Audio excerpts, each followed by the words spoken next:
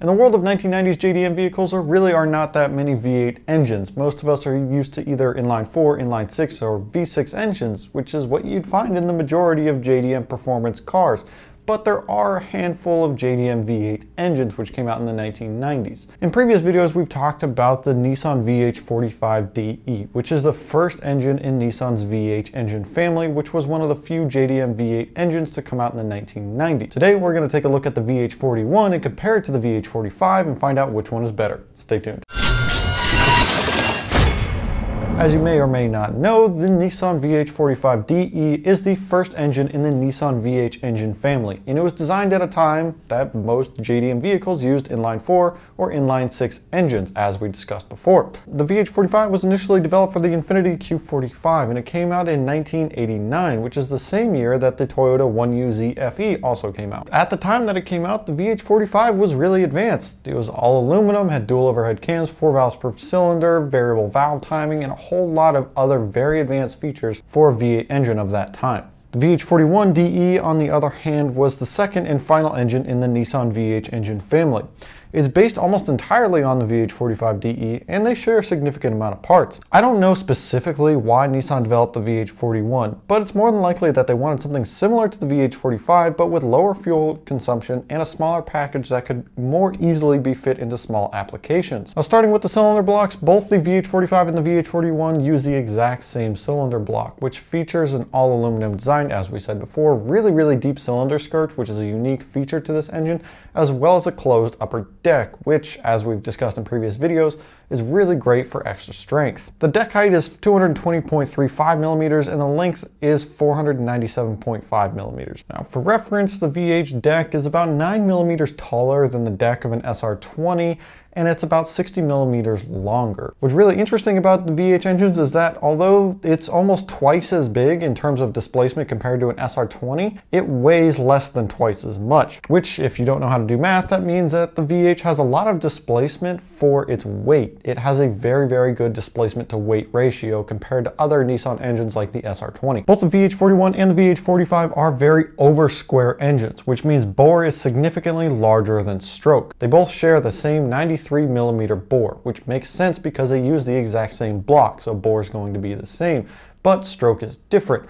On the VH45, you're going to have an 82.7 millimeter stroke compared to the VH41, which has a 76 millimeter stroke. This puts their respective displacements at 4,130 cc's and 4,494 cc's, which is rounded to 4.1 and 4.5 liters. Inside both the VH45 and the VH41, you'll find a forged steel crankshaft, forged steel connecting rods, cast hyper-eutectic, hyper, hyper-eutectic piston, 6 bolt main caps, and a full-length girdle. To put it simply, Nissan developed both of these bottom ends to be really, really strong, and you could argue that they're both kind of overbuilt for their purpose. Although these bottom ends are extremely similar and almost completely identical, it's important to note that they're not 100% identical. Because they have a different stroke, the connecting rods and the crankshaft throw are different for each engine in order to maintain the same deck height. Now, up to this point, the only real difference we've talked about has been displacement. Other than that, these engines have been really similar, but the cylinder heads are an area where these engines do get significantly different. One of the areas that wasn't so great on the VH45 were the ports on the heads. They really weren't known for flowing all that well, and although they weren't terrible, they really could have used quite a bit of improvement. And luckily by the time the VH41 came around, Nissan was well aware of this issue,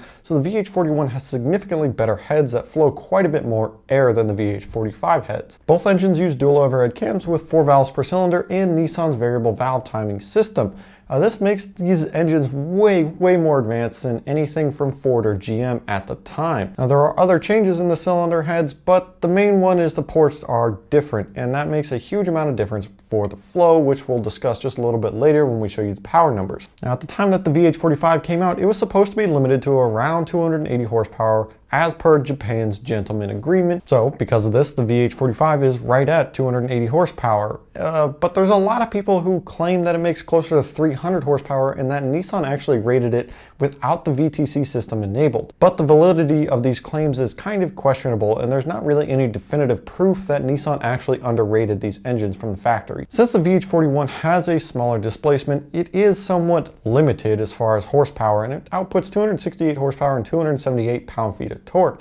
But if you really want to get technical with it, we can break this down and use some math to see which one actually outputs more horsepower per liter. If we break this down and divide each power figure by the engine's displacement, we can see power per liter. And in this case, the VH41 is actually more powerful per liter than the VH45, although it outputs less horsepower overall. This is more than likely almost entirely due to the improvements in the cylinder heads where there's a lot more airflow, and that's really important for a naturally aspirated engine. As far as applications go, the VH45 was limited to just the 1990 to 1996 Infiniti Q45 and the 1990 to 2002 Nissan President, both of which were designed to get Nissan into the luxury sedan market. The later version of the Infiniti Q45 used the VH41, as did the Nissan Leopard and Nissan Cima, Y32 and Y33. Now today you'll find the VH41 and the VH45 swapped into all sorts of different vehicles ranging from 240SX, 350Z, 300ZX, and many other vehicles including non-Nissan applications. Compared to other JDM engines, the VH45 really is just not as popular to swap into other chassis, but that's mostly due to the sheer size of the VH platform. A dual overhead cam, 90 degree V8 takes up quite a bit of space, and it makes it a lot more difficult to fit into other chassis because the frame rails basically get in the way of the engine.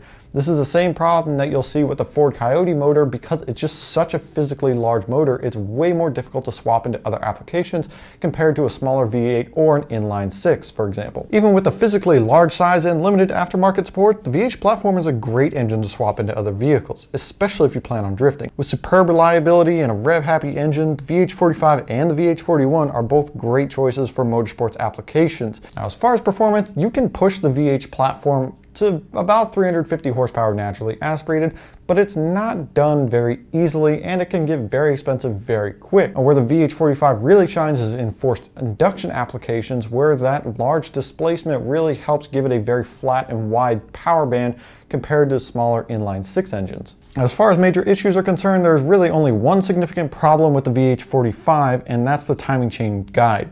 In earlier VH45s, Nissan used a plastic timing chain guide which is notorious for breaking in high mileage engines. Luckily, Nissan realized this issue and fixed it in the VH41 and some of the later VH45s. Now, to wrap all this up, it's pretty much just easiest to remember that the biggest differences between the VH41 and the VH45 come down to displacement, stroke, and the improved cylinder heads of the VH41.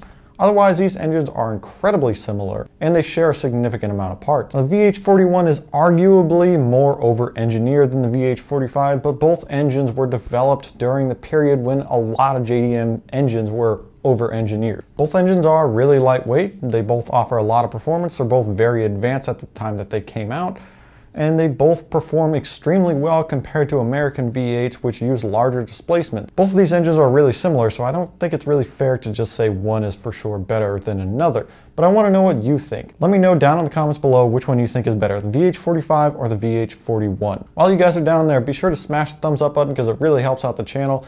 Get subscribed so you don't miss out on future videos, and I'll see you guys in the next one.